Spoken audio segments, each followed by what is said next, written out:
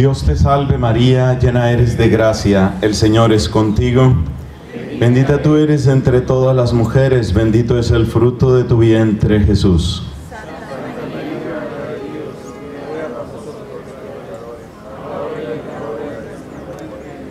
En el nombre del Padre y del Hijo y del Espíritu Santo. Amén. Siéntense, por favor.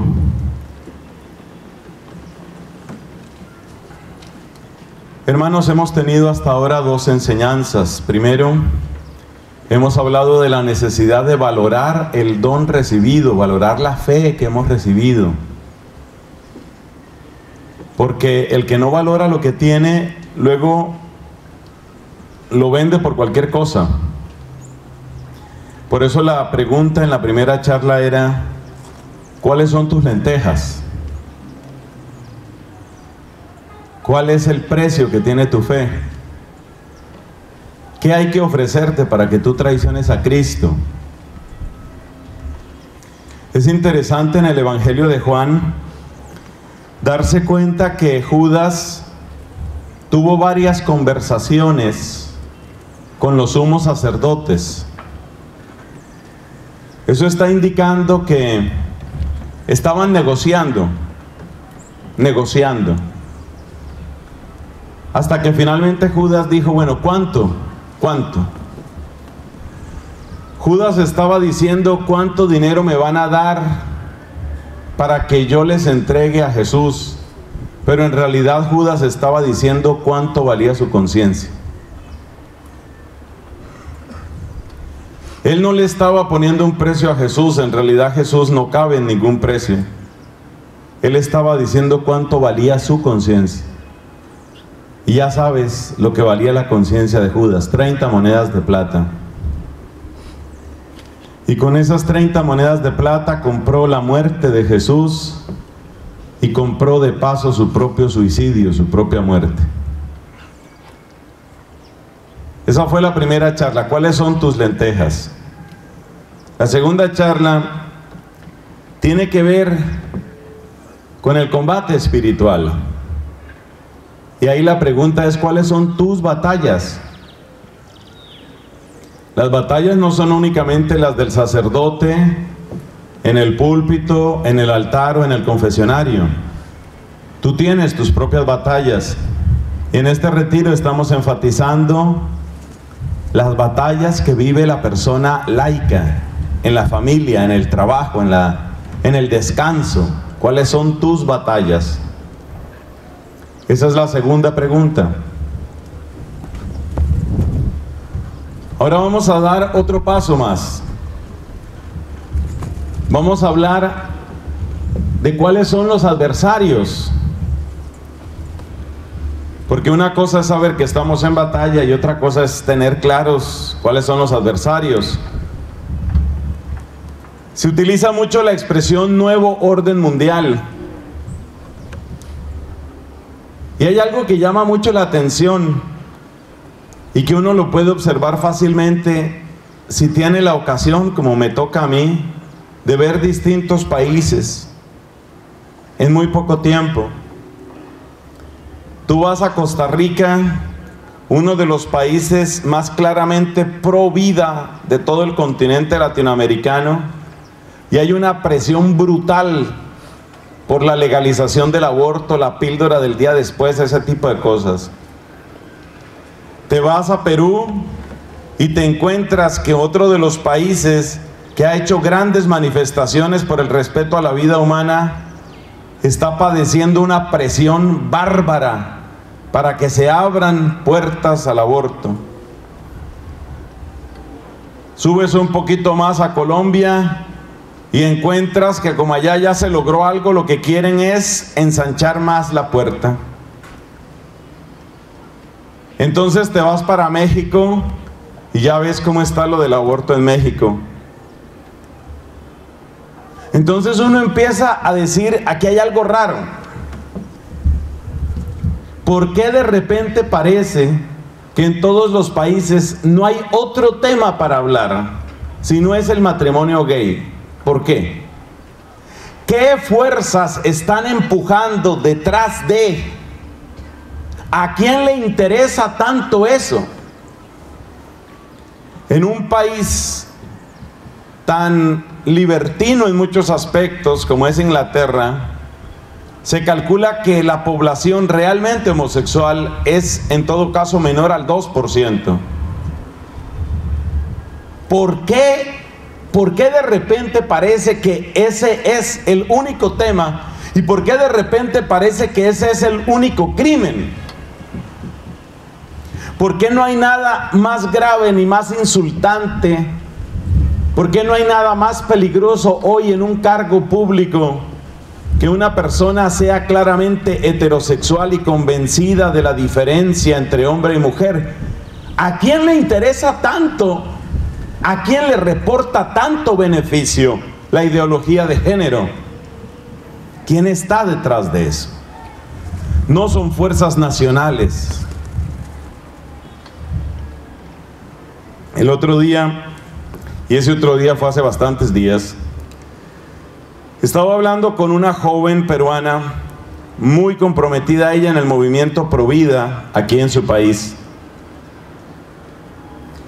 Y ella me contaba que la lucha en las cámaras legislativas es muy difícil porque resulta que hay una cantidad de personas con nombre y apellido que están rondando a los congresistas o diputados o el nombre que se les dé aquí. Están rondando a los congresistas, ofreciéndoles multitud de información y material para que metan proyectos de ley sobre el tema del aborto. Tener una persona en ese oficio, eso se llama hacer lobby, ¿no? Es el nombre que tiene ese tipo de actividad. Tener a una persona un día, dos días, dos semanas, un mes, visitando congresistas, presentándoles una carpeta, un resumen, un dossier, presentándoles información útil para que metan proyectos a favor del aborto. Eso vale dinero. ¿Quién está pagando a esas personas que están rondando las cámaras legislativas, el Parlamento peruano? ¿Quién paga a esa gente? ¿De dónde sale ese dinero?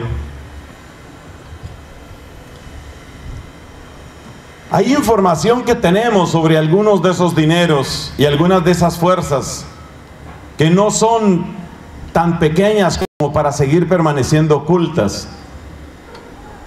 Se sabe, por ejemplo, que la UNESCO, que es uno de los organismos derivados o nacidos de la Organización de Naciones Unidas, la ONU, se sabe que la UNESCO tiene una gran presión en distintos países en la línea de lo que se ha llamado derechos reproductivos de la mujer y, se considera que el derecho a abortar existe, que abortar es un derecho. Por supuesto, esa es la manera de vender la idea para que no patee la oreja, para que no patee el oído. Entonces se presenta como un derecho. La UNESCO tiene que ver con eso. Hay una organización que nació en la Iglesia Católica que se llama Amnistía Internacional. Amnistía Internacional es una organización que ha hecho cosas fantásticas, muy notables, muy buenas, especialmente luchando para que haya procesos justos en el caso de aquellas personas que son enemigos políticos en regímenes totalitarios. Amnistía Internacional tiene un recorrido de defensa de derechos humanos que es simplemente impresionante. Pero Amnistía Internacional está cada vez más en manos de gente que ha cambiado el rumbo de esa organización. De modo tal que Amnistía Internacional ya defiende los derechos reproductivos de la mujer. Amnistía Internacional ya está a favor del aborto como un medio de igualar las condiciones, dicen ellos, del hombre y de la mujer frente a la sexualidad. Según algunos de los teóricos de Amnistía Internacional, el problema es este, que el sexo no deja en igual condición al hombre y a la mujer. El hombre tiene sexo, disfrutó, no disfrutó y se aparta y no pasa nada. La mujer tuvo sexo, disfrutó, no disfrutó, pero puede quedar embarazada. Eso le marca el resto de la vida. Para que la mujer y el hombre estén en iguales condiciones frente al sexo, es necesario que la mujer tenga el derecho a abortar para que no sea discriminada, entre comillas. Amnistía Internacional en este momento está enfrentada con la Iglesia Católica y no va a dar paso atrás. Es una cosa que realmente da dolor. Una organización tan importante, una organización que ha hecho tanto por tanta gente, ya a la vez corrupta, en manos de ideólogos que están promoviendo ese tipo de cosas. O sea que uno sí conoce ciertas cosas. Cuando estuvo en la Secretaría de Estado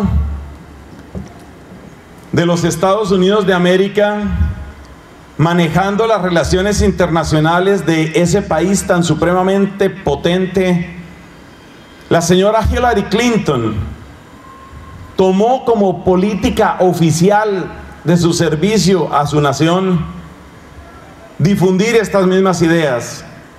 Eso significa que prácticamente en ninguna de sus visitas a los distintos países, y recorrió muchos, Hillary Clinton iba a omitir esta clase de temas.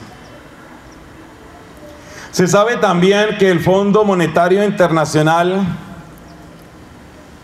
que en español se abrevia obviamente FMI, pero que también se encuentra muchas veces citado por el orden de las palabras en inglés, IMF. El Fondo Monetario Internacional que tiene mucho que ver con la asignación de macro préstamos a las naciones, ha puesto condiciones de tipo demográfico, condiciones que tienen que ver con la vida familiar de los países, de modo que también a través del Fondo Monetario Internacional se han presionado caminos de legislación que se supone que van a hacer más atractivos nuestros países para recibir préstamos colosales Estamos hablando de miles de millones de euros, miles de millones de dólares. Es decir, yo te presto dinero, pero primero necesito que legalices el aborto. Primero necesito que aumentes los anticonceptivos. Primero necesito que bajes la tasa de natalidad. O sea que sí hay caras, sí hay rostros. La Secretaría de Estado de los Estados Unidos de América la UNESCO, Amnistía Internacional. Y también hay una cantidad de intereses económicos que son más ocultos pero no menos reales. Cada una de estas realidades que nosotros miramos sobre todo como problemas familiares y problemas morales, para otras personas son asuntos simplemente de dólares, son asuntos de euros, punto. Ahí no entra nada más. ¿Qué sucede cuando se aprueba el aborto? ¿Qué sucede cuando se cumple aquel grito infernal, ese grito satánico que se ha oído tantas veces en las calles de España? Aborto libre ya. ¿Qué sucede cuando ese grito alcanza su propósito?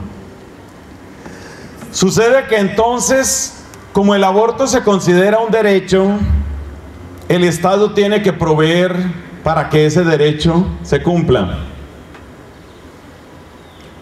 Y como tiene que proveer para ese derecho, quiere decir que el Estado tiene que subsidiar, tiene que pagar para que se hagan los abortos. Y eso significa que si tú tienes, eso no se llama una clínica porque no es para sanar, si tú tienes un abortuario en España, tu dinero está seguro porque el Estado te va a pagar. Tu dinero está seguro. Eso quiere decir que desde el momento en el que se aprueba legalmente el aborto, el aborto subsidiado, el aborto libre, que es la aspiración de toda esa línea, desde el momento en el que se aprueba, ya puedes garantizar que habrá un chorro de dinero del presupuesto nacional para las personas que estén en ese negocio. Y las personas que estamos en contra de la legalización del aborto somos enemigos de ese negocio. De manera que sucedió en Francia que un señor de cierta edad, un poquito mayor que unos que yo estoy viendo,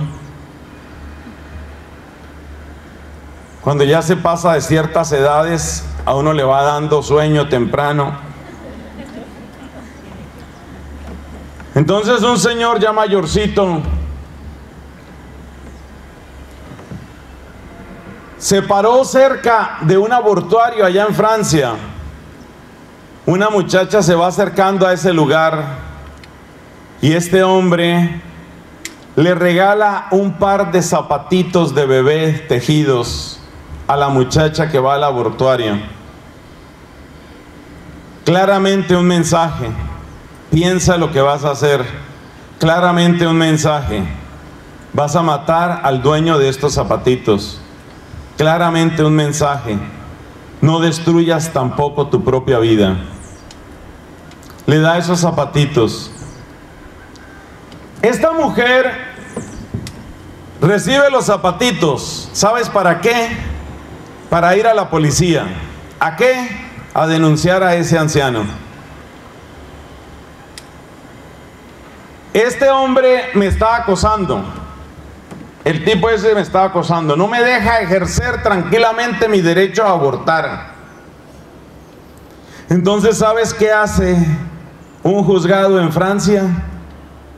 Toma a este criminal que anda regalando zapatitos en la calle y lo mete a la cárcel. Tú me estás entendiendo la historia, ¿no? Entonces, si una mujer va a que le despedacen el bebé y lo saquen a pedazos de su vientre, esa mujer está ejerciendo un derecho y está ayudando al empleo. Si un hombre da unos zapatitos para que no se mate a ese bebé, ese señor es un criminal y hay que meterlo a la cárcel.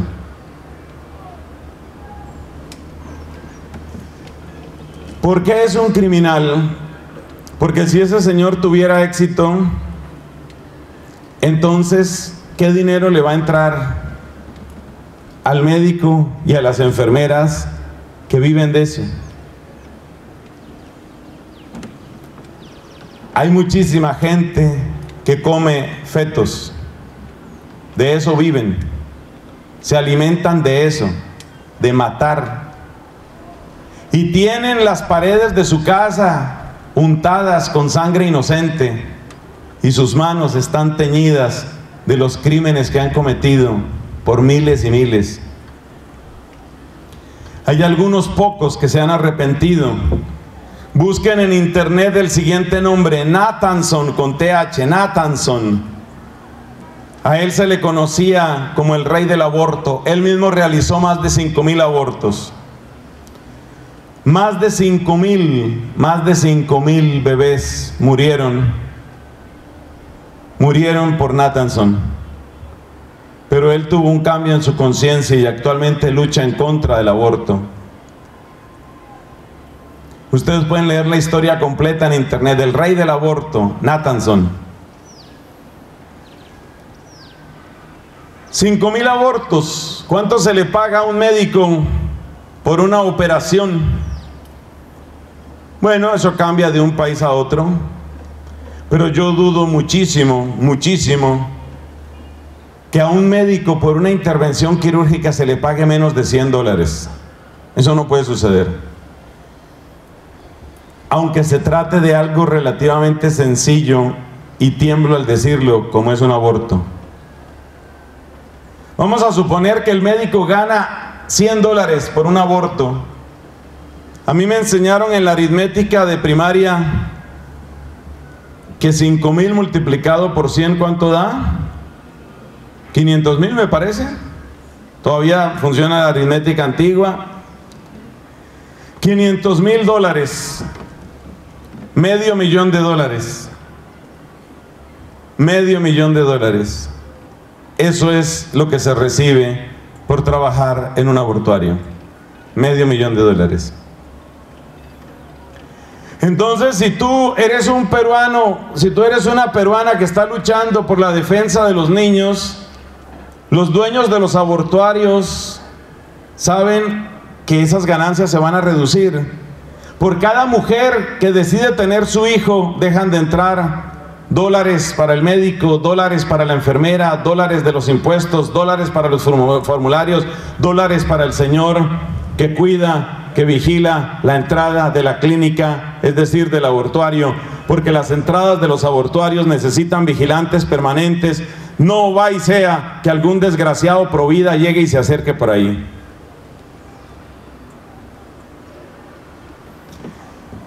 Esos son los rostros que conocemos los intereses económicos que conocemos.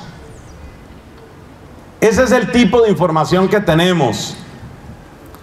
El tema de los anticonceptivos es gravísimo. El tema de los anticonceptivos es un engaño permanente. Hay una página de internet que es bastante vulgar en su lenguaje, pero que presenta por eso mismo unas cifras que me parecen interesantes. Es una página cínica, no es una página de la iglesia, no es una página que esté defendiendo al Papa, no es una página a la que le interese el catolicismo, es una página informativa, con un lenguaje vasto, un lenguaje vulgar, un lenguaje procaz, especialmente para gente joven. Hablan con desvergüenza y con cinismo de todo. Y precisamente esa página me parece interesante porque es tan claro que esa página no defiende a la iglesia, que nadie me va a decir que esa página yo la escogí precisamente porque piensan como yo.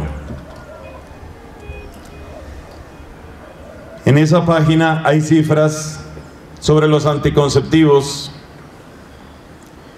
Yo les voy a contar algunas cifras sobre anticonceptivos. ¿Cuál es la eficacia de un preservativo? Los laboratorios dicen que la eficacia de un buen preservativo es del 97%.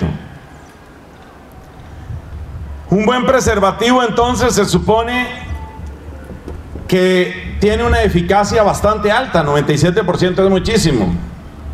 Pero esa página que les estoy contando y cuya dirección voy a dar a las personas que me lo pidan luego personalmente, no quiero hacerle propaganda aquí en público, esa página cuenta una historia distinta. Resulta que cómo miden los laboratorios la eficacia del preservativo. Miden la eficacia en condiciones ideales. Esta descripción va a ser un poco brusca, un poco tosca.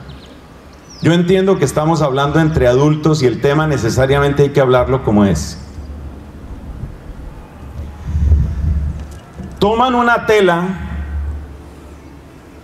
un caucho de esos que sirven para los preservativos, del espesor que se utilizan en los preservativos, como separación entre dos compartimientos. En un compartimiento echan el producto de la eyaculación humana, el semen, y aquí está el caucho del preservativo, y aquí está el otro compartimiento. Y entonces lo que ellos quieren averiguar es qué probabilidad tiene un espermatozoide de atravesar el látex, de atravesar el caucho ese. Y según ese estudio, vamos a suponer que son honrados, según ese estudio, de 100 veces que se hace ese experimento, solo tres veces logra pasar una cantidad significativa de espermatozoides que podría hacer temer una fecundación. Así es como prueba el preservativo el laboratorio en condiciones ideales. Pero resulta que una cosa son las condiciones ideales y otra cosa son las condiciones reales del muchacho apasionado y de la chica excitada o del esposo excitado y de la esposa que quiere tener intimidad con su esposo. El grave problema que se presenta a la gente que tiene mentalidad anticonceptiva es este. Que la presencia de espermatozoides que pueden realizar la fecundación no sucede únicamente en el momento final de la excitación, es decir, con la eyaculación. Ya hay presencia de espermatozoides en los líquidos propios de la excitación del hombre. Además, allí donde haya humedad, allí hay un camino para que estas células, estos gametos masculinos o espermatozoides hagan su recorrido. Eso quiere decir que la eficacia del 97% que el laboratorio dice, y a mí ya 97% me parece muy bajo, la eficacia del 97% supone que se utilice el preservativo de tal manera que selle completamente todo intercambio de fluidos entre el cuerpo del varón y el cuerpo de la mujer. Eso significa que cualquier superficie que no esté cubierta por el látex, por el caucho, esté perfectamente seca. Y que así permanezca durante toda la cercanía o intercambio o caricias que haya entre ese hombre y esa mujer. Entonces los estudios demuestran que la verdadera eficacia del preservativo no es el 97%, es por lo menos 10 u 11 puntos menos. La verdadera eficacia del preservativo está sobre el orden del 80 o el 85%. Y cuando te digo 80% te estoy diciendo que una de cada cinco relaciones con preservativo ya es potencialmente fecunda. Esa es la ruleta rusa a la que están jugando los del preservativo.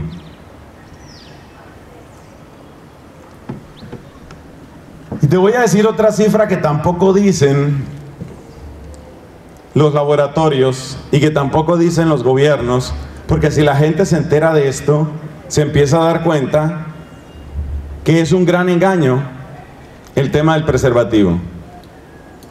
Para la anticoncepción, para las enfermedades sexuales, incluyendo el SIDA.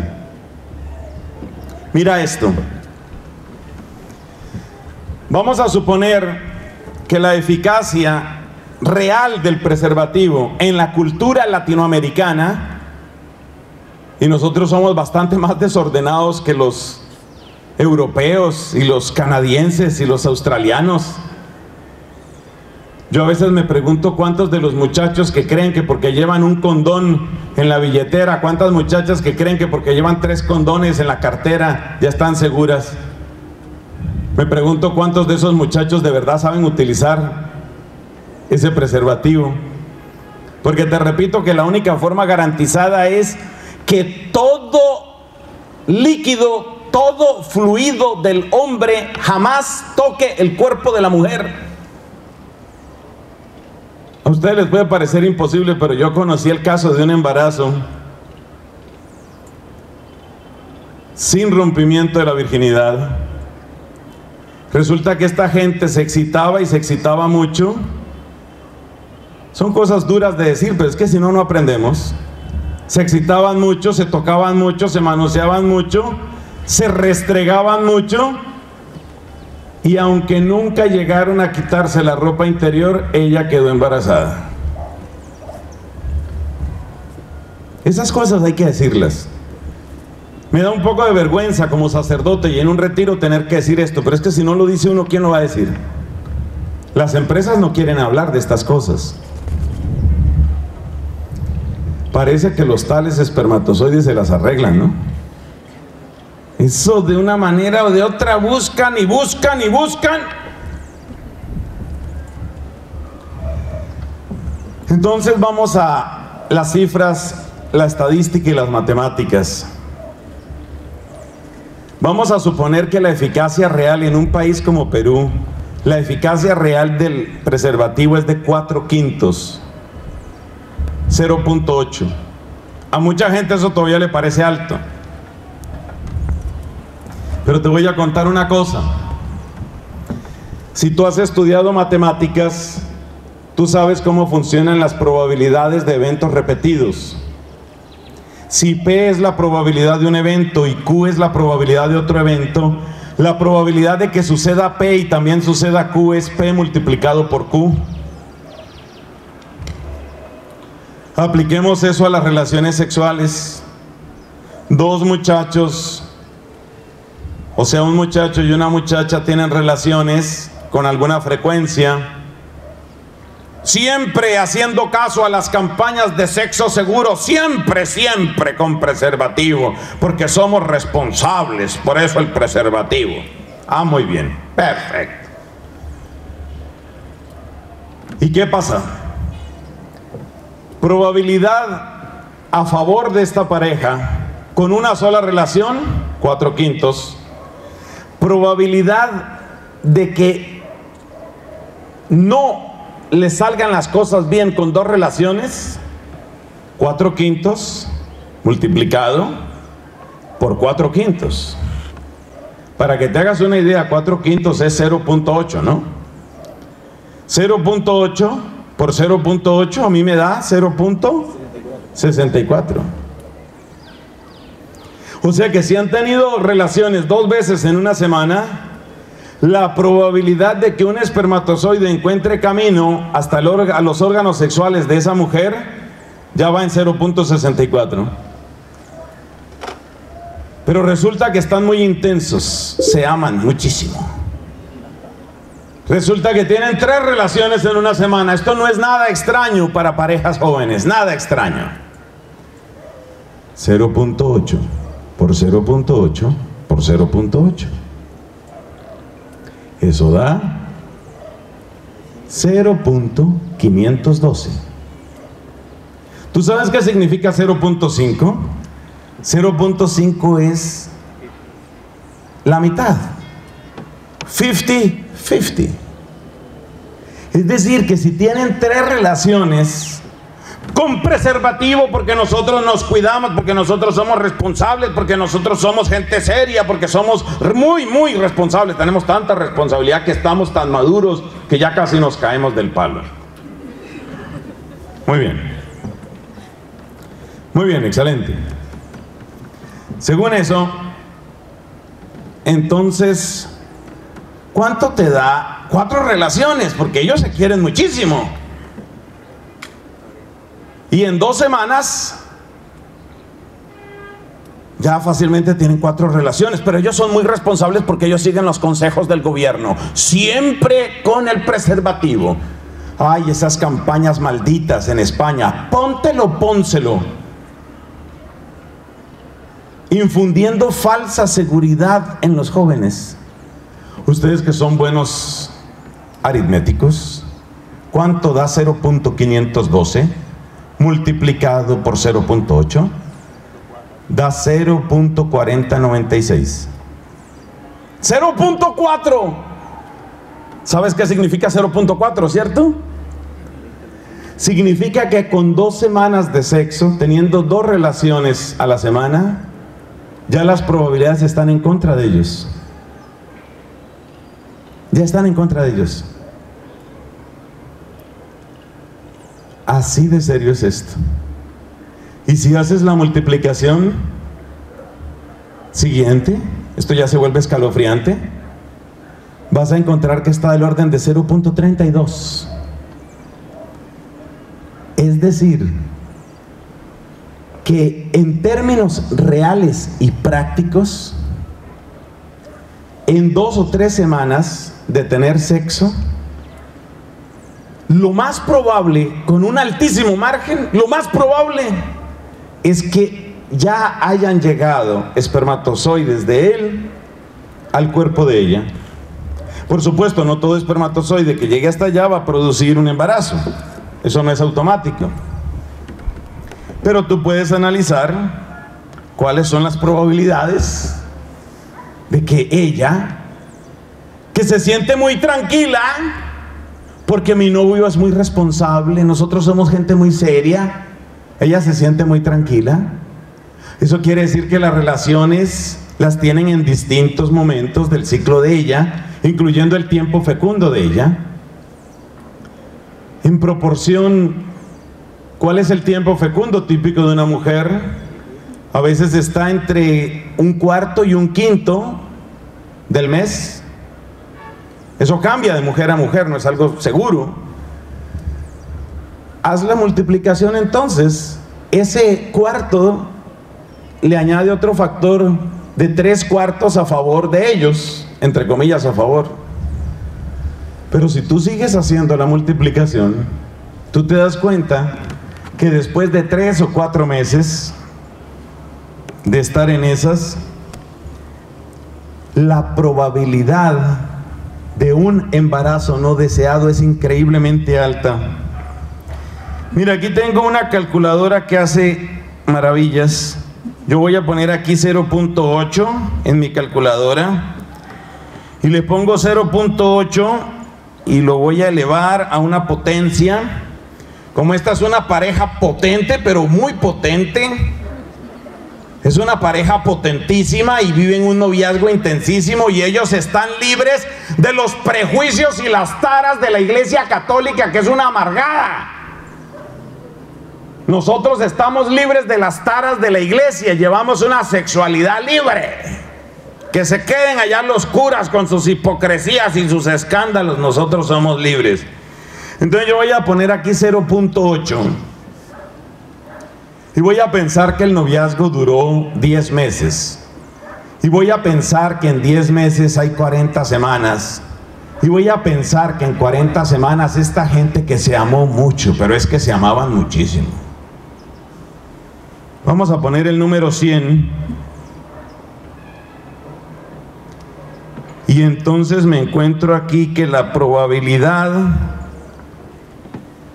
de que nunca de que nunca ese espermatozoide travieso llegue hasta donde quiere llegar, la probabilidad es 203 por 10 a la 12. ¿Sabes cómo se escribe eso, no? 0.00000000302. Esa es la probabilidad.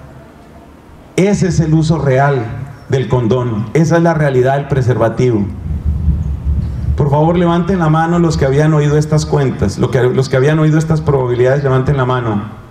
No les dé pena, por favor, levanten la mano, tranquilos. Los que ya conocían estos datos, levanten la mano, les vuelvo a decir, con confianza.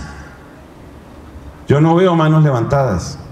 Y ustedes son católicos, formados, convencidos, enamorados de Dios, y nadie ha oído esto. ¿Cuántos de los muchachos que están en los centros comerciales? ¿Cuántos de los muchachos que se van a un motel? ¿Cuántos de los muchachos que están llevando una vida desordenada en su universidad sabrán de esto? Nadie. ¿Por qué nadie lo dice? ¿Por qué? Porque se estima que el mercado de preservativos, el mercado de anticonceptivos, el mercado anual de anticonceptivos es del orden de 1.500 millones de dólares al año. Los cauchitos esos, ¿quién creyera, no? Con cauchitos se hacen 1.500 millones de dólares, cauchitos y pastillitas. Se podrían presentar cifras semejantes con respecto a la pastilla. Cosa que en sí misma es absurda el uso de la pastilla. Ustedes han conocido a esas muchachas que jamás se toman una gaseosa por no meterle químicos al organismo. Esas muchachas que solo comen cosas orgánicas para no meterle químicos al organismo. Esas muchachas que solo comen alimentos integrales, trigo integral, centeno, cebada, para no meterle químicos al organismo. Esas muchachas que pagan carne carísima, huevos carísimos, verduras carísimas, porque todo tiene que ser perfectamente natural. Yo no quiero llenar de químicos mi organismo. Y después de que ya tienen el organismo sin químicos, entonces se ponen un parche anticonceptivo una bomba de hormonas para suprimir un ciclo perfectamente natural en la mujer. ¿Cómo ¿Cómo se entiende? ¿Cómo se puede entender esta sociedad nuestra? De manera que hay que tener un cuerpo saludable y a la vez hay que envenenar el cuerpo. La página esa que les cuento trae unas cifras impresionantes sobre lo que significa el uso de las píldoras anticonceptivas. Se supone que una mujer, para que las píldoras anticonceptivas le funcionen lo mejor posible, no debe tomar ningún otro medicamento. Todo aquello que pueda interferir con el estado de ánimo de la mujer puede suprimir el efecto anticonceptivo o puede alterarlo de maneras no previstas. Hay un número creciente de mujeres que están tomando antidepresivos, que están tomando ansiolíticos, que están tomando tranquilizantes, que están tomando pastillas para dormir, que están tomando pastillas para sobrevivir. ¿Sabías, alguien te había contado que si tú tomas anticonceptivos con cualquier otro medicamento, la eficacia del anticonceptivo cambia? Tal vez si lo sabías. Yo me imagino que algunas no dicen yo lo sabía, porque, dirán, dirán, no, pues eso qué significa, ¿no? No, eso es información científica interesante. Eso quiere decir que hay una cantidad de mujeres que creen que están, entre comillas, protegidas. Creen que están protegidas. Pero resulta que los ansiolíticos que está tomando junto con los anticonceptivos que está tomando, cancelan mutuamente sus efectos. Los efectos de los anticonceptivos en el endometrio de la mujer, ¿dónde están los estudios? ¿Por qué nadie habla de eso? Básicamente, ¿qué es un anticonceptivo químico? ¿Qué es esencialmente? Básicamente es un bloqueo un bloqueo al proceso de ovulación. Eso es lo que es. Como no se da el proceso de ovulación, entonces tampoco se da el ciclo propio del proceso de ovulación.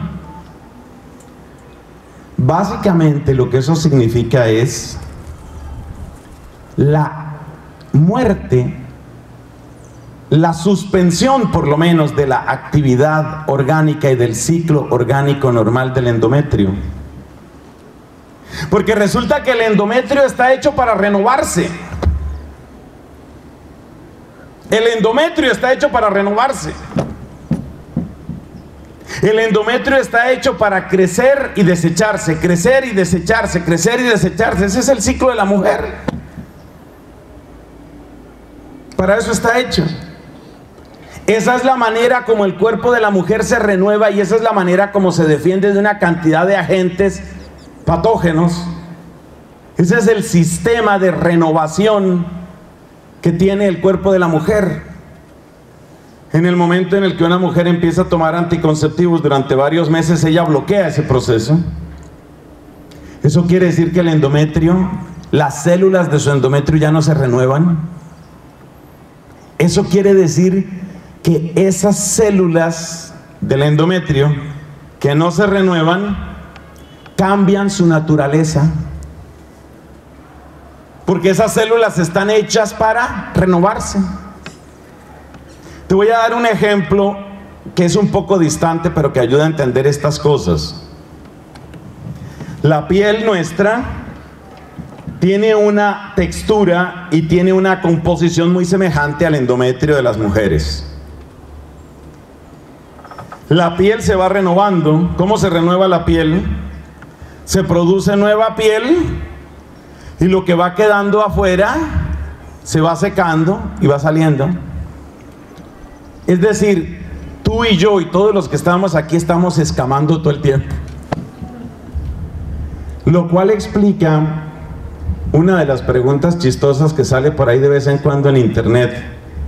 ¿Por qué hay que lavar las toallas si cuando uno se seca está perfectamente limpio? Lo que hace que las toallas se ensucien y tomen mal olor son las células muertas de la piel. Cuando uno se seca después de ducharse, esa toalla se lleva millones y millones y millones de células tuyas.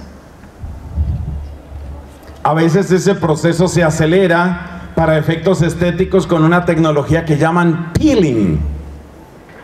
El peeling que es pelar, quitar grandes capas de piel para obligar a la piel a renovarse.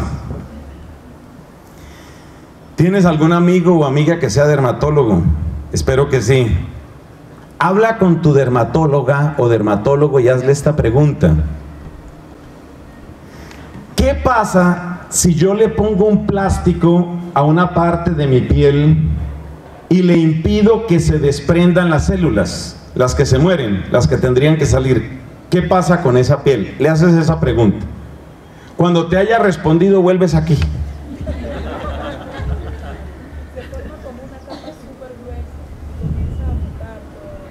Eso, eso, eso engendra una especie de callo que se enferma. Porque resulta que esas células muertas son el alimento preferido de ejércitos de bacterias. Esas bacterias no nos destruyen, no nos hacen daño, porque esas células se van y con ellas se van las bacterias. Si yo impido que las células se vayan, si esas células quedan ahí pegadas, entonces las bacterias hacen un daño salvaje y se endurece esa parte, como nos explica aquí la señorita.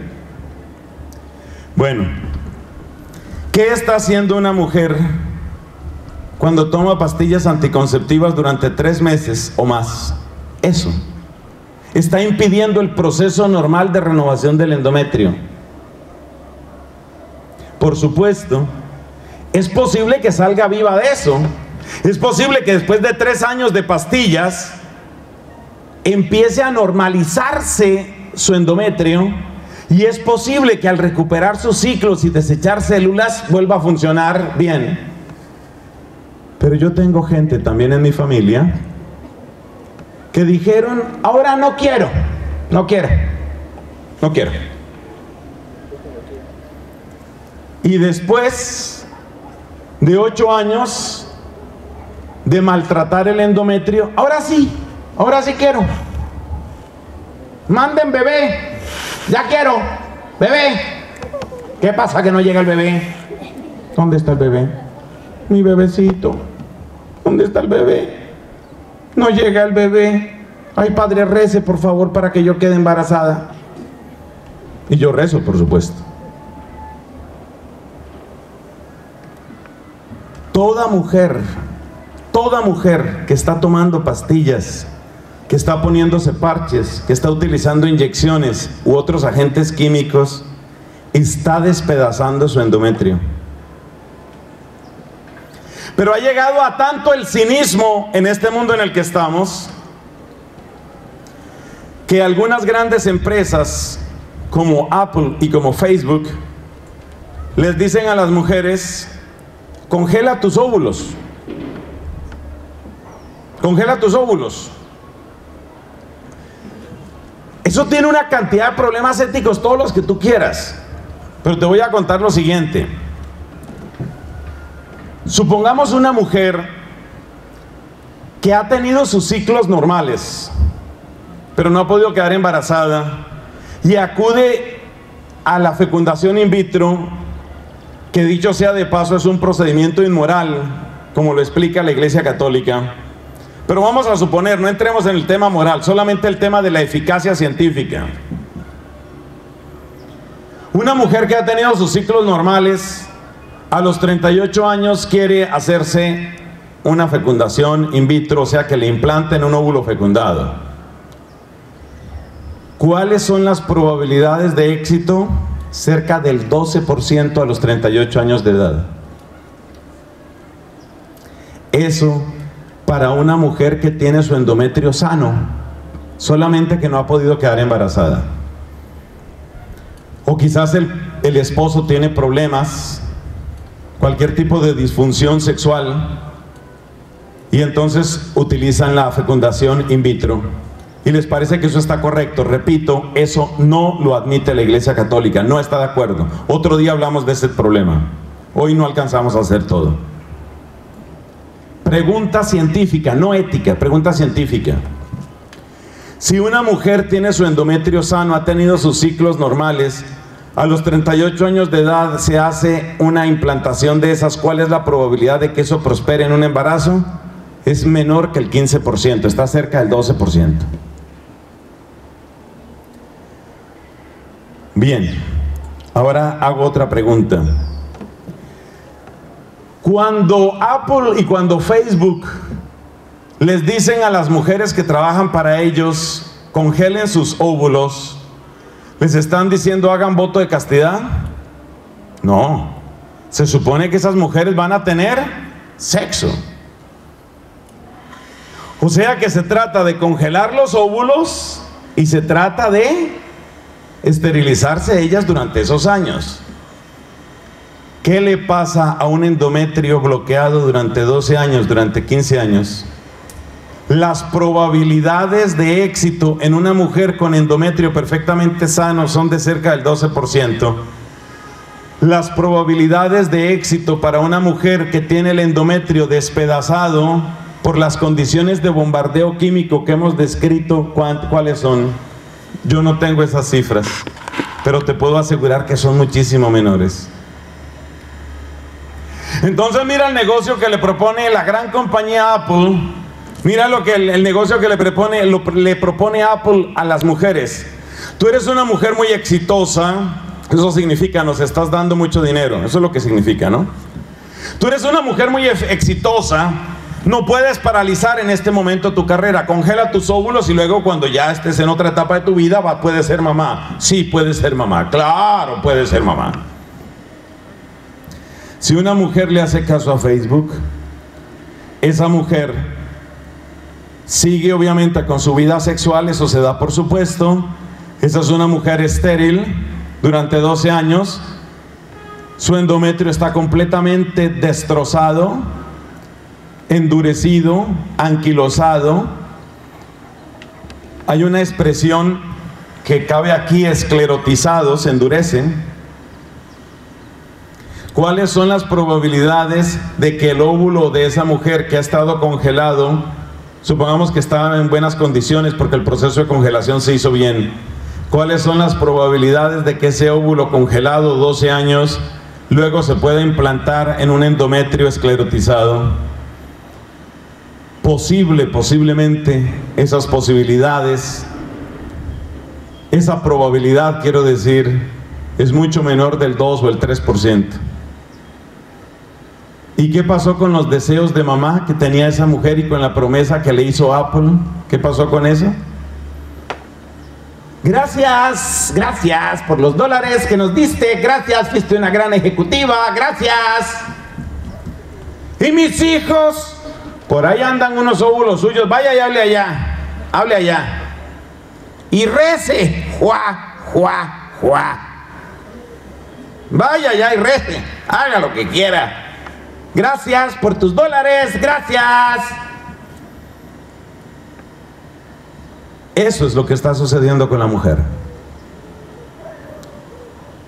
Hay una gran paradoja y una situación que no tiene solución sencilla para las mujeres. Y es que los años de mejor desempeño profesional son los años de mejor oportunidad para ser mamá.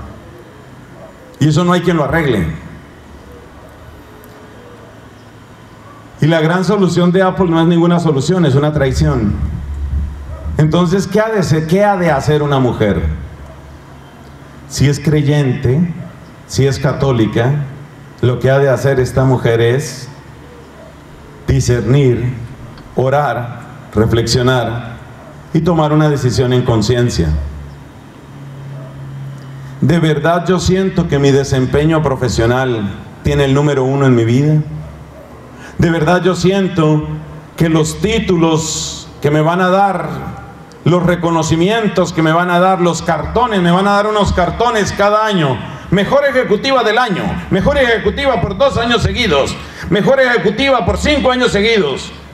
Después yo tomo todos esos cartones y los amamanto. Voy a llenar una pared con todos los cartones. Soy la mejor de la mejor. Luego la foto de la reunión de despedida. Y luego las direcciones que me dieron de lugares para suicidarse. Qué bonito. Cada mujer debe tomar esa decisión y debe tomarla delante de Dios. Lo único que yo pido que es que tu mujer no te digas mentiras y que nadie le vuelva a decir mentiras a las mujeres. Yo no puedo decidir por ti, mujer. Si tú realmente ves que tu camino en la ciencia, que tu camino en la empresa, que tu camino en las ventas es lo primero en tu vida y no sientes una vocación real de maternidad, te lo entiendo. Yo no te voy a obligar a ser mamá. Pero si vas a ser mamá, a ver cómo lo vas a hacer. Es una decisión como son todas las decisiones de la vida.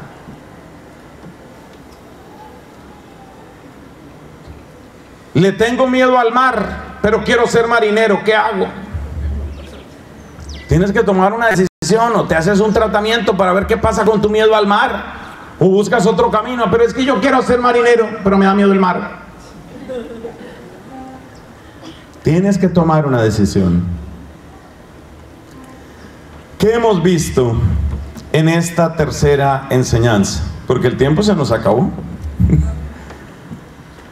El tiempo se nos acabó. ¿Qué hemos visto en esta tercera enseñanza? Hemos visto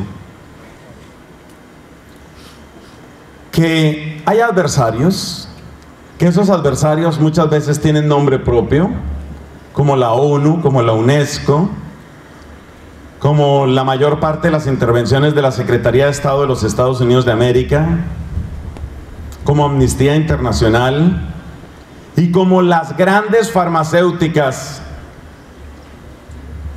el mismo estudio probabilístico que hicimos con el preservativo se puede hacer con las pastillas. Las farmacéuticas no quieren que eso se divulgue, no quieren. Porque el día que las mujeres sepan que están no solamente destruyendo su endometrio y no solamente destruyendo su conciencia y no solamente produciendo microabortos, que es lo que sucede con las barreras mecánicas, Oye, hay que decir una pequeña palabra sobre ese, sobre ese tema. El preservativo es una barrera mecánica porque lo que pretende es impedir que se junten el gameto masculino, el espermatozoide y el gameto femenino, el óvulo. Es una barrera mecánica. Pero hay barreras mecánicas que se supone que se instalan dentro del cuerpo de la mujer. Por ejemplo, lo que se llama en algunos países la T, bueno, ese, esa pieza metálica que se instala ahí, ¿qué papel cumple?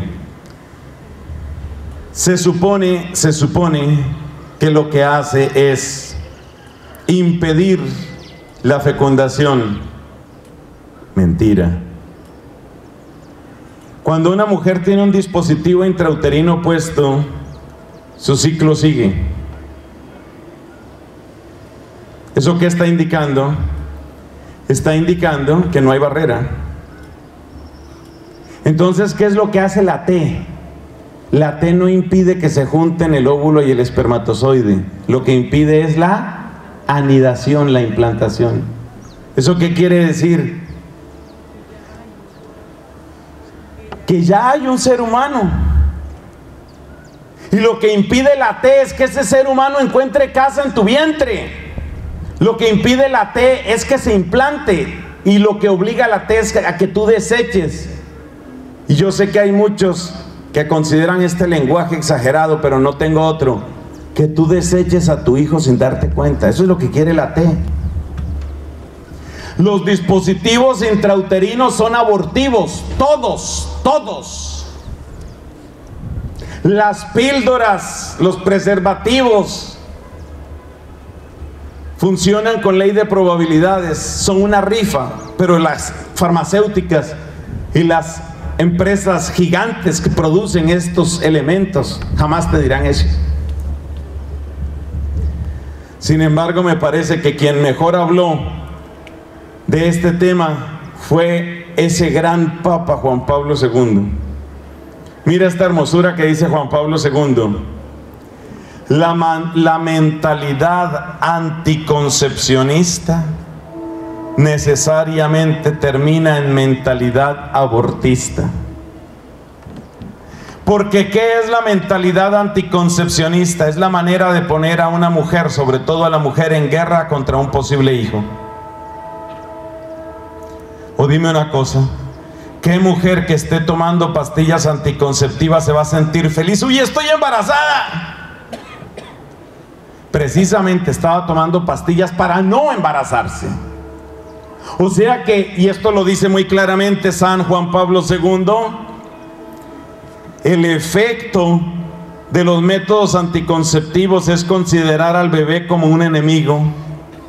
El bebé es el que va a arruinar mi vida, el bebé es el que va a dañar mi posgrado, el bebé es el que va a cortar mi felicidad, el bebé es el que me va a atacar. Entonces yo por eso lo ataco. Por eso hay que lograr deshacerse del bebé por eso hay que lograr impedir que el bebé nazca. Eso se llama mentalidad anticoncepcionista. Y nos dice el Papa Juan Pablo II, felizmente canonizado, la mentalidad anticoncepcionista termina en mentalidad abortista. ¿Por qué? Porque estar tomando pastillas, estar utilizando preservativos, hacerse instalar un dispositivo intrauterino es una manera de decir, bebé, por aquí ni asome, ni se aparezca bebé, no quiero que venga por aquí. Y ahora yo te hago una pregunta. ¿Y si se aparece? Es el enemigo. Es el enemigo. ¿Tú no crees que los niños y los jóvenes se dan cuenta de eso? ¿Tú no crees que esos niños y jóvenes que hoy andan por las calles de Nueva York, de Caracas, de San José, de Managua o de Ciudad de México, ¿tú no crees que ellos se dan cuenta de eso? ¿Que han sido vistos como el estorbo? Hace mucho, no hace mucho, estaba predicando en San Luis Potosí, en México. Hablábamos un tema parecido a este. Y quiero cerrar con el ejemplo que di allá. Me encontré con una pareja. Llevaban ya como unos dos o tres años de casados. Yo como soy impertinente, porque uno de sacerdote tiene que aprender a ser un poco metido. Cristo es metido en la vida humana. Cristo no es tan diplomático, Cristo se mete en la vida humana. Bueno, ¿y los hijos para cuándo? Pregunto yo, así metido como soy. Ahí verás si me quieren así o si no, no me inviten. ¿Qué caray? Me voy para otra parte. Entonces le pregunto a esa pareja, oye, ¿y los hijos para cuándo? Y el hombre me mira con cara de que, cura entrometido, ¿usted por qué pregunta eso? Y la muchacha, la señora, la joven señora, intenta reparar todo con una sonrisa muy dulce y agrega las siguientes palabras. Padre, es que primero vamos a disfrutar un poco. Y cuando ya estemos listos, entonces ya encargamos. Analiza por favor ese discurso de esta joven señora. Primero vamos a disfrutar un poco. ¿Hasta cuándo llega el disfrute? ¿Hasta cuándo? ¿Hasta cuándo? Dígalo duro. Hasta que llegue el bebé. El bebé es el que acaba el disfrute.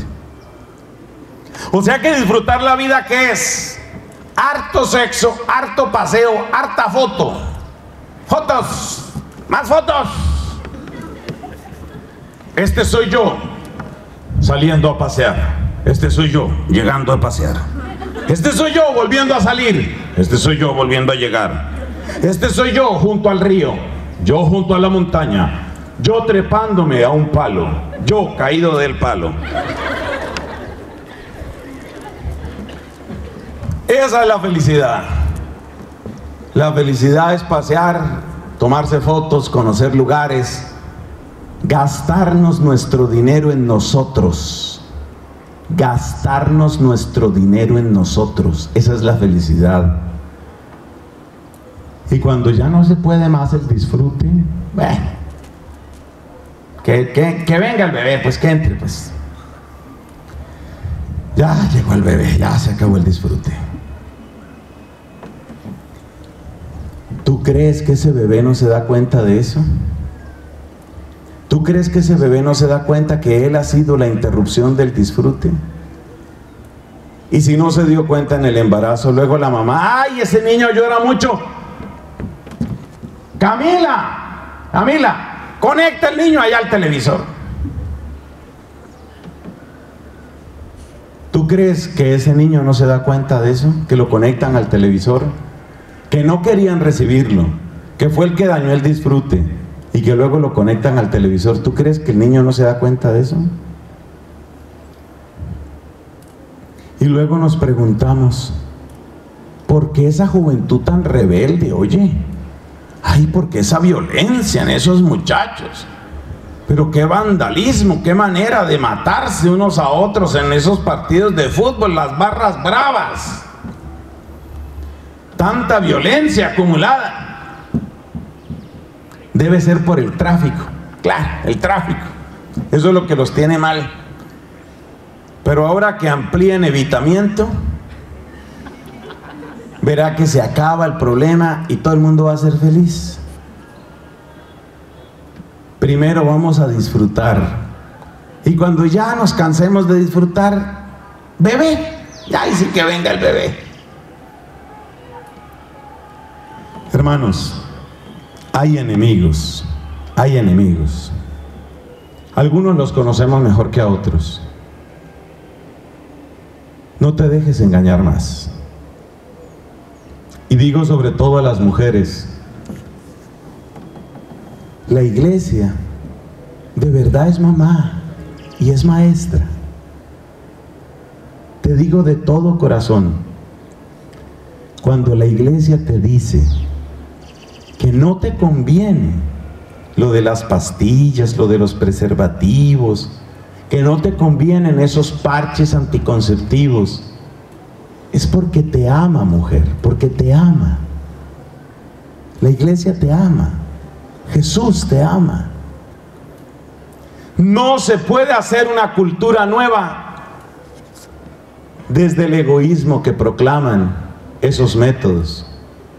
Aquí cabe muy bien lo de Cristo. Para el vino nuevo, otros nuevos.